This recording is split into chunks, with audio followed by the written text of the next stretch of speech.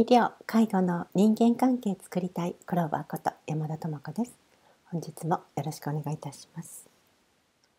今日はどうして伝えてくれないんだろう。聞かないと教えてくれない男性上司への対応策についてお届けします。女性で医療専門職として例えば放射線技師さん BT さん OT さんなど働いている方々から寄せられたご相談にお答えしたいと思います。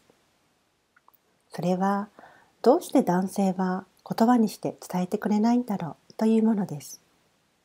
特に相手が上司の場合、仕事に関する伝達が女性側からすると不十分で困っていますという相談内容が多いのです。ある特定の人だけに伝えている。他の部署の人からまた聞きで聞いたいつの間にか掲示板に貼っている。一言を言葉にして伝えてくれたらスムーズなのに、と思う女性スタッフが大半です。え、私聞いてないけど。それって正式決定なの？いつそこに掲示したの？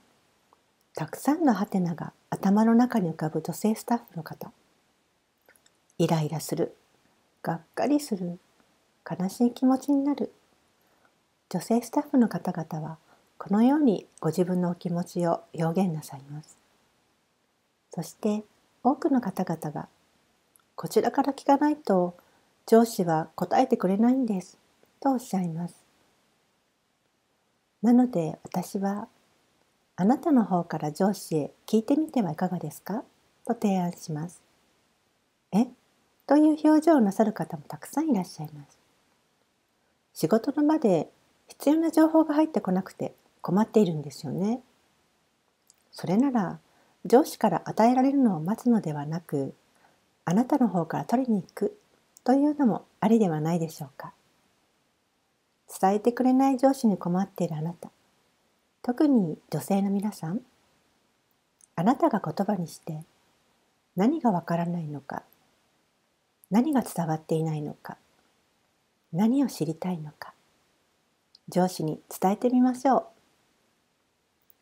この動画をご覧になった男性上司スタッフの皆さん、女性スタッフはこんなところで悩んでいたりするんです。今週はいつもより言葉を添えて伝達なさってみてください。ありがとうございます。